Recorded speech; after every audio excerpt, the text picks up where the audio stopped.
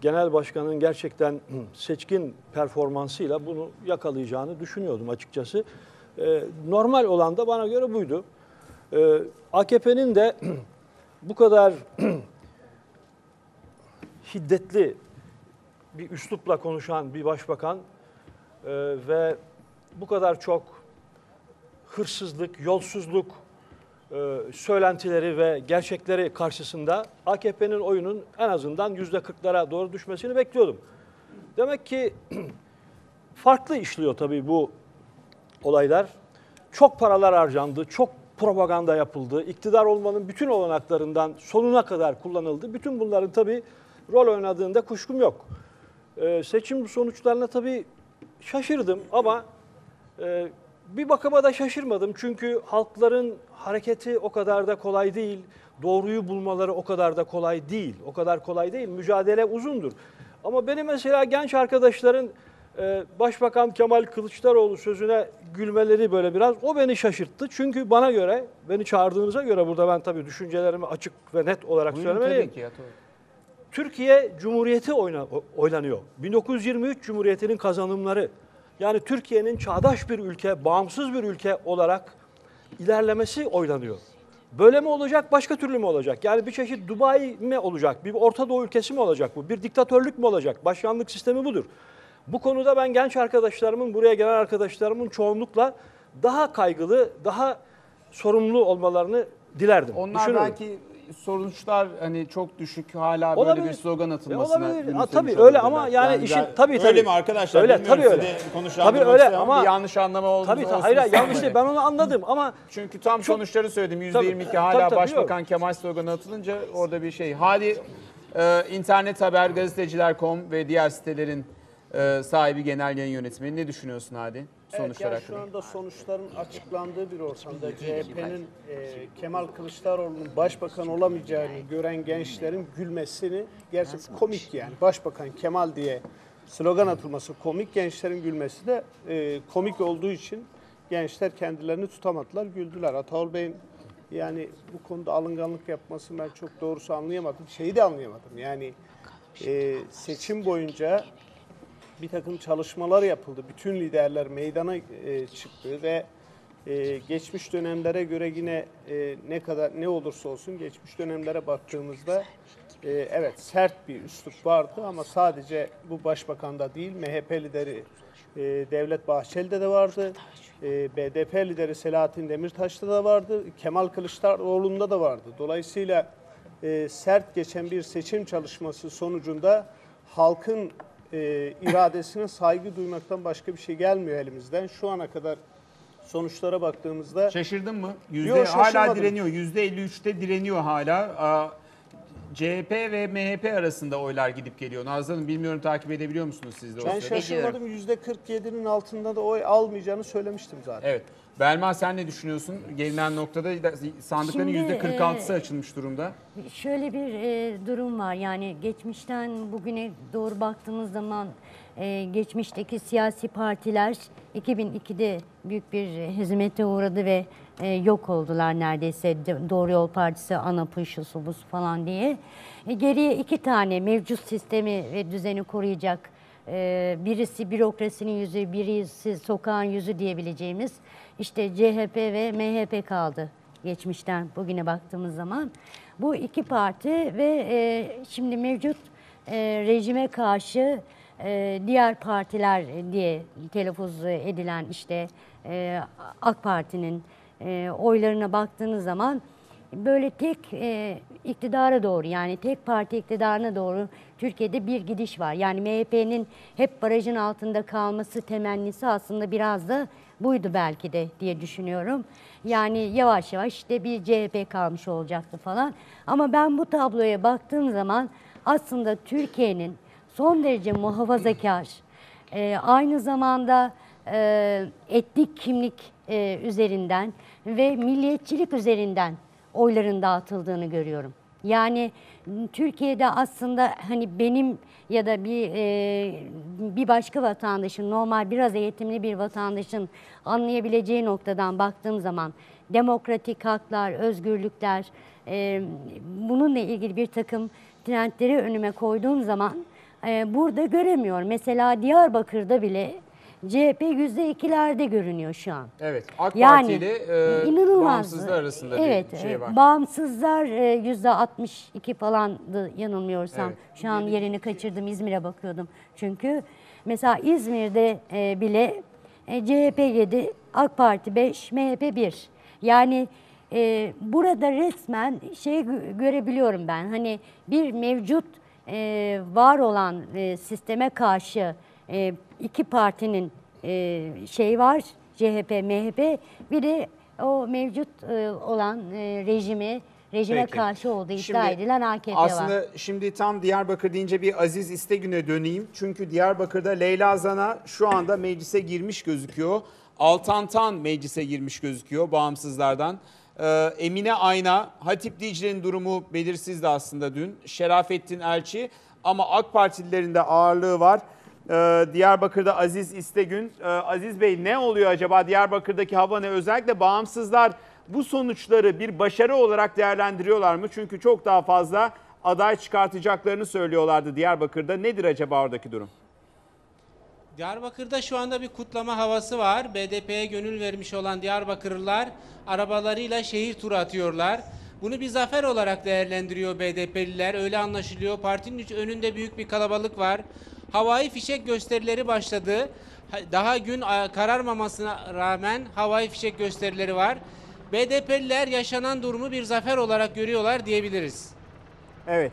Akşamleyin e, Selahattin Demirtaş orada herhalde. Bölgedeki hava ne? Bölgedeki havayı da bir başarı olarak görüyorlar mı? Çünkü şu anda ben genel sonuçlara baktığımda 29 milletvekili görüyorum bağımsızlardan. Hepsi BDP mi emin değilim. Aralarında başkaları da olabilir ama kaç bekliyorlar sayı olarak? Şu andaki hava nedir orada bölgedeki sayı? BDP burada asgari 32 milletvekili bekliyordu bölgeden. Ee, Şu andaki rakamlara göre buna yaklaşmış durumdalar. 29-30 civarında görünüyor. Tabii daha sandıkların tümü açılmadı. Kesin sonuçları elde etmedik. Ama beklediklerine yakın bir oranda oy aldıklarını söyleyebiliriz. Diyarbakır'da beklediklerine ulaştılar. Mardin'de keza beklediklerine ulaştılar. Hakkari ve Şırnak'ta yine yüksek oy oranlarına sahipler. Milletvekili sayısı olarak da yaklaşık 29-30 arasında görünüyor BDP'nin. Bu da onların beklediği bir durumdu. Evet Tunceli'de Kamer Genç e, Ferhat Bey'le e, mücadele etti. Tunceli'de farklı CHP biraz daha ileride gözüküyor. Onunla ilgili söyleyeceğiniz bir şey var mı son olarak Aziz Bey?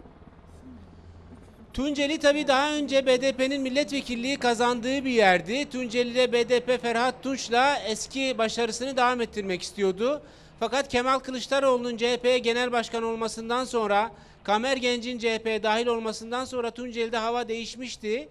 BDP oraya bastırdı bir milletvekili kazanmak için ama CHP'ye doğru oyların kaydığı görülüyor şu andaki sonuçlara göre. Evet bu da ilginç çünkü Kamer Genç de bayağı tartışılmıştı yaptığı demeçlerle. Doğu Bey siz ne düşünüyorsunuz? Şu andaki genel dağılım 29 milletvekili diyor ama 28 diyor ama emin değilim ben hepsinin bağımsızların e, BDP'den olduğuna. Belki bir iki tane İstanbul'dan da çıkabilir diye düşünüyorum çünkü e, İstanbul var mesela Urfa'da İzol soyadlı birisi var. Aday e, İstanbul'da mesela şey var. E, Çetin Doğan yani. Evet, onu merak İşte ediyorum. İkinci bölgede seçilir mi? Seçilir hiç belli olmaz. Burası Evet. İstanbul. Çocuklar bir bakın bu arada arkadaşlarıma söyleyeyim ben. Çetin Doğan'ın oy oranı ne? Tuncay Özkan'ın oy oranı ne? Onları e, merak ediyorum eğer ulaşabiliyorsak. İlk Buyurun. defa birisi üniformayla, askeri üniformayla e, propaganda yaptı. Bu yasak değil mi? değil mi? Ben o dönem yasak. bir şey aklıma Yasak geldi bunu olmalı. sormak ama yani askeri üniformayla bir seçimler, seçim gayet propagandası yapmak. Gayet tabii fakat çok bilinçli biçimde yapıldı o. Aslında hani dağa taşa yazılıyor ya, güçlü ordu, işte e, güçlü e, millet diye. E, ordunun güçlü olmasını ima eden bir durum bu. Evet. Neyse. Şimdi öyle anlaşılıyor ki AK Parti bir iktidar mücadelesi, daha doğrusu iktidarını sürdürme mücadelesi veriyor. Fakat diğer partiler başkanlıklarını sürdürme mücadelesi veriyor. Yani hemen seçimden sonra eğer bu oy oranları kalırsa gerek CHP'de gerek MHP'de bir başkanlık e, savaşı başlayacak. En azından e, yarışı başlayacak diyelim. Bu onu mu gösteriyor? Bu kesinlikle onu gösteriyor. Şimdiki veriler tabii eğer şey yaparsa, muhafaza edilirse. Çünkü pek e, gururlanacakları bir başarı söz konusu değil. E, bu kadar şeyden sonra, beklentiden sonra. Ama bakın MHP o kadar düşük değil. Şimdi buradaki çıkanlarda yine 13. Söyleyeceğim ama onu. Ha, onu Söyleyeceğim. söyleyin. Ha, Şimdi yani onun bakın, altını çizmek MHP'nin lazım. Evet. MHP'nin 13 çıkması 58 iki, iki nedene dayanıyor. Bir, e, seçmen kitlesi öz- özellikle işte ulusalcı, milliyetçi seçmen kitlesi MHP'nin dışı, dışarıda bırakılarak bir Kürt sorununun belki kendilerini istemedikleri biçimde çözüleceğine bir reaksiyon gösterilmesi. İki, MHP'yi dışarıda bırakacak bir siyaset düzenlemesi, bir siyaset mühendisliği yapılmasını büyük ölçüde de dış güçlere falan bağlayarak Peki bir şey yaparak. bunu O- açarak o, yüz- düşün- o, yüzden, o yüzden MHP'nin parlamentoda kalması için sadece MHP'liler değil, MHP'yi parlamentoda görmek isteyen ve orada bir kara delik oluşmasını istemeyen AKP'li, CHP'li seçmenlerin de oraya yöneldiğini ölçmüş Evet. bulunuyor. Yani zaten. acaba şunu da bir soru olarak soruyorum. Yani CHP'nin bu kadar daha tahmin edilenden düşük olmasının sebebi bir takım CHP'lilerin e, MHP'ye iki sebepten Doğru, gitmesi. Bir, baraj altı kalmasın. İki, CHP daha farklı bir çizgi. İşte özellikten Yeni. CHP'yi pek Ha, o zaman tek istemediğinden dolayı. ulusalcı parti kalıyor. MHP'ye böyle bir kayış olmuş mu? Bu Doğru, soruyu da koyalım. Şey, e, onu genellikle- söylemeye, ben de Ha. onu söylemeye çalışıyorum. Ee, tabii bir de şu var, e, renklere baktığınızda e, sahillerin büyük ölçüde AK Parti'ye gittiğini, o e, rengarenk görünümün azaldığını fakat Güneydoğu'da yeni bir e, renk kuşağının oluştuğunu görüyoruz. Şimdi şunu unutmayalım. Türk milliyetçiliği Kürt milliyetçiliğini doğurmuştur. Şimdi Kürt milliyetçiliği Türk milliyetçiliğini besliyor. Şimdi böyle bir durumda Kürt sorununun çözümü dahil Türkiye'nin uzlaşma bekleyen yeni bir anayasanın yapılması, yurttaşlığın yeniden tanımlanması, belki yeni bir idari yapılanma konusunda nasıl bir oydaşma sağlanacaktır? Ee, o sanki biraz daha zorlaşmış gözüküyor. Evet. Atol Bey şimdi Antalya sonuçları önümde açık. Ee, Antalya'da e, başa baş bir mücadele devam ediyor. An- Antalya aslında CHP'nin kalesi diyebileceğimiz bir yerde. Deniz Baykal'ın memleketi olmasıyla. Ee, AK Parti şu anda e, açılan sandık %54'e yükseldi. Antalya'da %38 AK Parti önde gidiyor. CHP %34, MHP %20. MHP asıl bayağı yükselmiş gibi. Ee, AK Parti 6 milletvekili, CHP 5, MHP'de 3 milletvekili götürüyor. Bu biraz önce Doğu Bey'in, Nazlı Hanım'ın değerlendirmeleri ışığında özellikle Antalya ölçeğinde baktığımızda nasıl değerlendiriyorsunuz? Yani bazı CHP'li oyların MHP'ye gitmesi bağlamında mı? Evet yani bu mesela bu kayış AK Parti'den değil de CHP'den MHP'ye bir kayış mı? Yani bu kadar büyük oranlarda bir şey olabileceğini ben tahmin etmiyorum. Yani ben e, MHP'nin barajı aşmasını tabii candan isteyenlerden biriyim. Barajı aşmaması tabii AK Parti'nin neredeyse işte tek parti olmasını falan doğuracaktı. Ama CHP'li seçmenin bu kadar bilinçsiz davranacağını zannetmiyorum. Bu ölçüde yani bu ölçüde olacağını zannetmiyorum. Ama tabii MHP'nin de bu oylarının nereden geldiği meselesi var. Bir önceki e, seçimin daha altında değil. Yani bir önceki seçimde aldığı oyların altında değil MHP'nin aldığı aldığı oylar.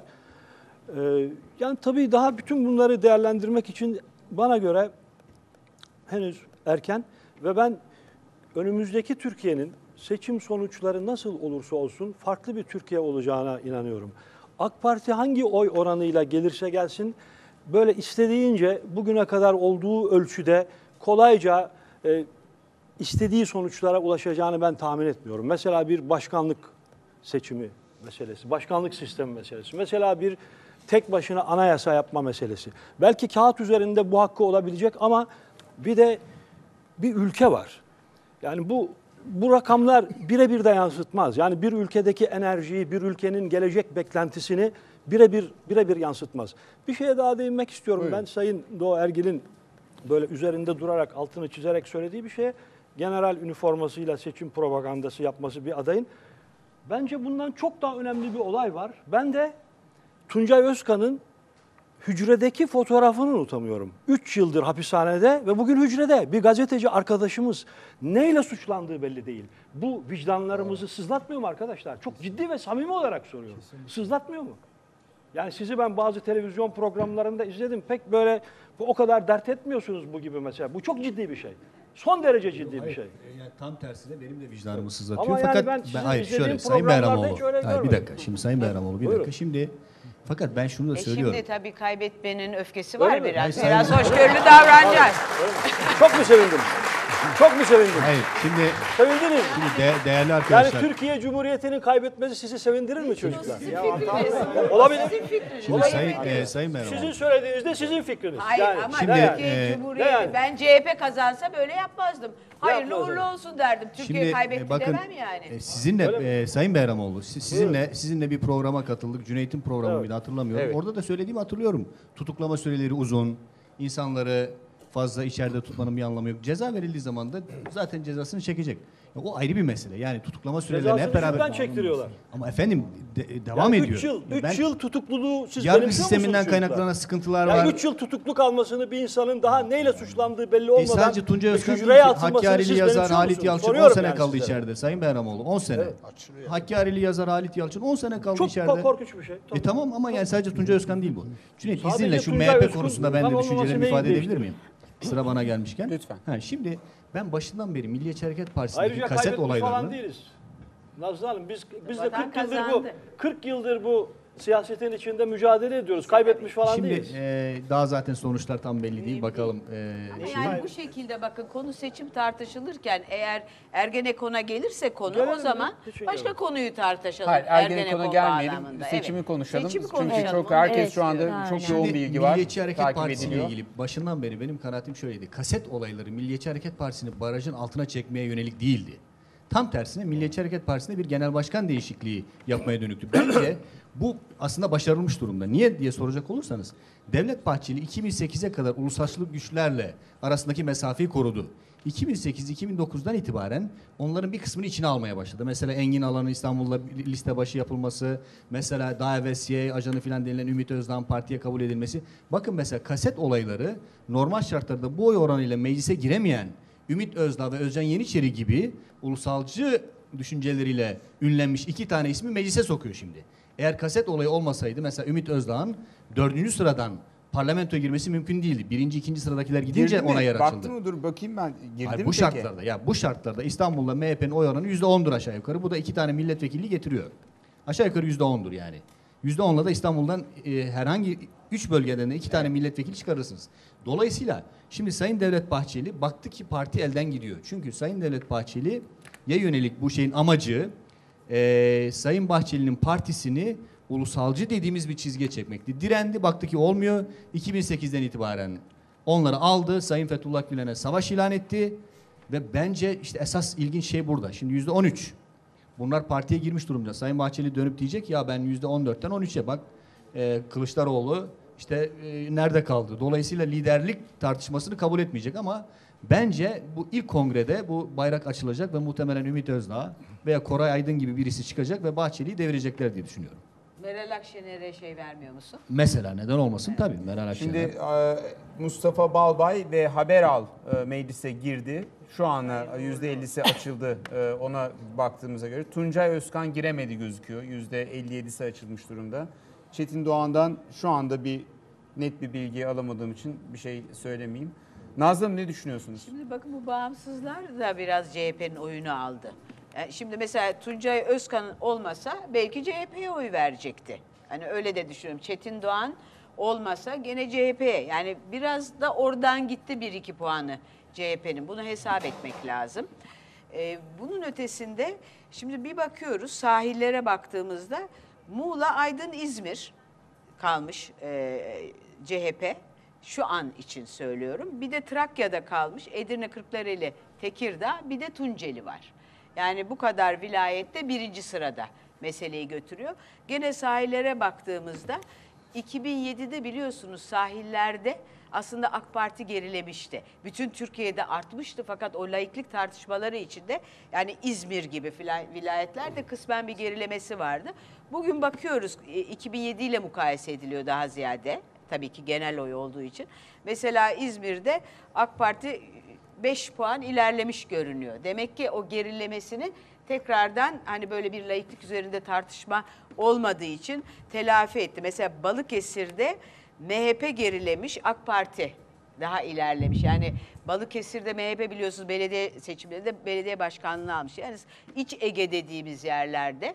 Şimdi belki de bunun sebebi laiklik üzerine bir tartışma yapmayınca yani belki doğru bir yöntemde e, Baykal'ın diye düşünebiliriz bir anlamda Türkiye için iyi olmasa bile. Şimdi bunun üzerinde bir korku yaratmayınca sahiller rahatlıyor ve oyunu verebiliyor AK Parti. Yani o korkulardan sıyrılabiliyor. Bu tabii memleket için çok daha hayırlı. Manisa'da 3. sıraya düşmüş bu arada. Mesela. Evet yani MHP'de bu. MHP'de bir kere ben yüzde yüz Gülen faktörünü çok önemsiyorum. Baştan beri çok önemsiyorum. Ee, mesela m, şeylerde de e, referandumda çok ilk defa referandumda çok faaliyet gösterdi Gülen cemaati. Yani önceden o kadar daha AK gevşekti. Parti'de önemsiyorsunuz. MHP'de mi AK Parti'de mi? Hayır, AK Parti'de önemsiyorum. MHP AK dediniz sanırım. oy- AK Parti'nin oylarını da İşte önemsiyorsunuz. ama MHP'den de biraz şey oluyor. Azalma da Geliyor, evet. oluyor tabii Ne ister değil mi? istemez. Geçen, geçen seçimin konuları, o kadar önemsenen konuları bu seçimde hiç üzerinde durulmadı bile. Demek ki bunlar yapay olarak köpürtülüyordu belki de. Mi? Yani o anayasa Cumhuriyet değişikliği, anayasa değişikliğiyle ilgili mi görünüyor söylüyorsun? bana. Ya sadece anayasa değil, Yargıyı şey, ele la- geçirecek. laiklik mesela işte. Ha, geçen dönem Tabii, geçen 2007'yi dönem, tabii. söylüyorsunuz. Evet, Evet, 2007'yi söylüyorsunuz referanduma. Tabii 2007'de bütün o cumhuriyet mitingleri vesaireyle çok laiklik köpürtülmüştü.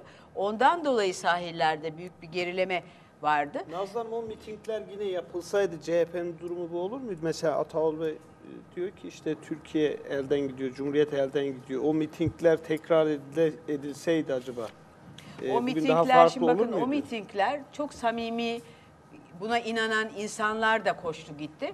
Ama manipülatif olduğunu yani ben şahsen yüzde yüz eminim bütün belgeler de aşağı yukarı bunu ortaya koydu. Yani sivil toplum örgütleri bir işbirliği vardı geri planda. Ben buna inanıyorum şahsen. E, şimdi o tarz bir miting artık yapılamaz zaten. Ya- Ama yani- şimdi burada bence şunu tartışmamız gerekmiyor mu? Yeni CHP, CHP seçmenine hitap etmedi mi? Yani CHP seç, seçmeni kaçtı mı buradan? Başka Bak ben bir, bir- bu- Şimdi- buyurun. müsaade ederseniz bu şeyi de söyleyeyim. Şimdi tam e, oy neticelerinin gelmesi lazım. Güneydoğu'da bir parça bir nebze ilerleme var iken bu e, sahillerde de bir gerileme ortaya çıkabilir. E, şuna da inanıyorum. E, belediye belediyeler de çok önemli. Mesela İzmir ve Antalya'da belediyelerin hizmetlerinde rol ol- oynadığını düşünüyorum. Zaten biliyorsunuz daha önce bu duyumlar gelmişti İzmir'le ilgili olarak hani gayrimemnun oradaki halk vesaire. Ama diye. İzmir'de mesela CHP ikinci bölgede e, onu da ekrana getirelim arkadaşlar. İzmir ikinci bölge CHP yüzde 43 almış. Şu anda yüzde 30'u açılmış orada sandıkların. AK Parti yüzde 36, MHP yüzde 12. E, birinci bölgeye geçeyim. Birinci bölgede de yine benzer olaylar, olay e, oylar yüzde 43 CHP, MHP yüzde 36 AK Parti, MHP yüzde 11. Ama işte ilerleme var AK Parti'de de. Onu AK söylemek Parti'de evet, istiyorum. ilerleme AK var Parti'de ama yani- ilerleme hele mahalli Şimdi, seçimlere e, bakarsak mahalli seçimlerde elinin üstünde tabii belediye başkanlığı. Ben bir faktördür demek istiyorum. Evet. Laikliğin o kadar köpürtülmemesi, Baykal'ın da- Baykal'ın söyleminden yeni CHP söylemine geçilmesi, belediye hizmetleri Antalya, İzmir gibi kentlerde bütün bunlar e, Gülen faktörü kendine Evet. göre MHP'den oy kaymasını sağlamak. bir İzmir'e dönelim mi? Ben İzmir'deki havana bir onu sorayım. Hasan Çilingir şu anda İzmir'de. Hasan Bey merhaba. Ee, nedir durum acaba İzmir'de? CHP'liler özellikle nasıl karşıladılar bu sonuçları? AK Parti ve CHP arasında bir yarış var gördüğümüz kadarıyla. Nedir durum? Evet sizin de belirttiğiniz gibi İzmir'de yarış AK Parti ile CHP arasında geçiyor. Az önce az önce sizin e, e, belirttiğiniz rakamlar son rakamlar. E, ikisinin arasındaki makas e, çok e, dar aslında. E, bir önceki seçime göre CHP daha rahattı. Bir önceki seçimde CHP daha rahattı. Ancak bu seçimde AK Parti ve CHP arasındaki makasın daralması e, CHP'lilerde biraz tedirginlik yarattı diyebiliriz. Ee, İzmir'de aslında seçim gerçekten güzel bir ortamda geçti. Vatandaşlarımızın katılımı, seçime katılımı oldukça yüksekti. E, 2 milyon 904 bin seçmen 10 bin 485 sandıkta oyunu kullandı. Ve İzmir genelinde e, çok büyük bir olumsuzluk yaşanmadı seçim sürecinde. E, ancak e, 10 kişi e, 10 kişi polis tarafından gözaltına alındı. Onun da sebebi şuydu. e, bağımsız adaylara bağımsız adayları BDP'nin desteklediği bağımsız adaylara oy verilmesi yönünde vatandaşları yönlendirdikleri, tehdit ettikleri iddiasıyla 10 kişi gözaltına alındı. Onun dışında İzmir gerçekten sakin bir e, e, seçim geçirdi ve sizin de dediğiniz gibi şu anda CHP ile AK Parti yarışıyor. MHP 3. parti e, konumunda ve arkasından da bağımsız adaylar geliyor İzmir'de.